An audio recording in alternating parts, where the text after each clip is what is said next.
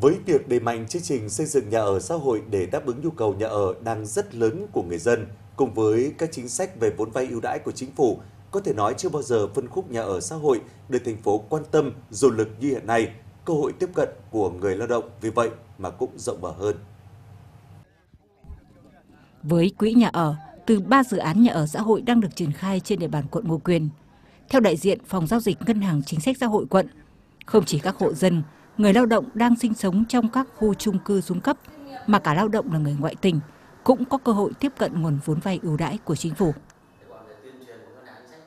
Đối với những người mà ngoại tỉnh mà hiện đang ờ, công tác hoặc làm việc tại Hải Phòng thì phải có tạm trú từ một năm trở lên và ờ, có cái, cái, cái, cái quyết định về cái đóng bảo hiểm xã hội trên địa bàn thành phố Hải Phòng thì sẽ được tiếp cận với lại nguồn vốn khi mà có nhu cầu mua nhà và có nhu cầu vay vốn thì cũng nằm trong đối tượng được thụ hưởng. Thì chúng tôi tuyên truyền về cái nguồn vốn ờ, vay ưu đãi này với lãi suất là có 4,8% một năm. Tất nhiên cái này là do chính phủ sẽ quy định, thủ tướng chính phủ sẽ quy định theo từng thời kỳ. Nhưng đến hiện tại bên thời điểm này thì là vẫn là đang là 4,8% một năm. Ờ, và thời gian vay thì tối đa là 25 năm. Ờ.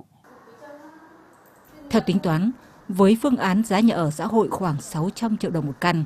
mức vay ngân hàng chính sách xã hội khoảng 70% giá trị nhà, mức trả góp từ 3 đến 5 triệu đồng một tháng, thời gian trả trong từ 10 đến 15 năm, thì người lao động hoàn toàn có khả năng chi trả.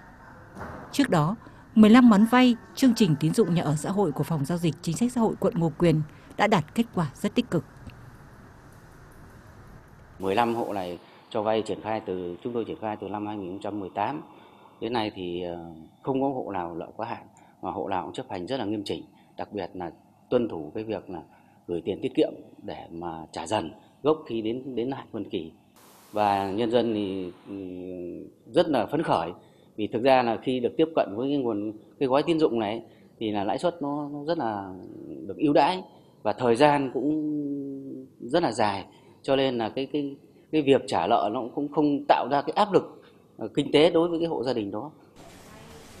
Cùng với ngân hàng chính sách xã hội, các ngân hàng thương mại nhà nước cũng đang được khuyến khích tham gia cho chủ đầu tư và người mua nhà ở xã hội vay các gói tín dụng theo từng thời kỳ. Hiện trên địa bàn thành phố có 11 dự án nhà ở xã hội với quy mô 13.300 căn đang triển khai thi công và 5 dự án nhà ở xã hội quy mô 14.400 căn đang thực hiện thủ tục đầu tư.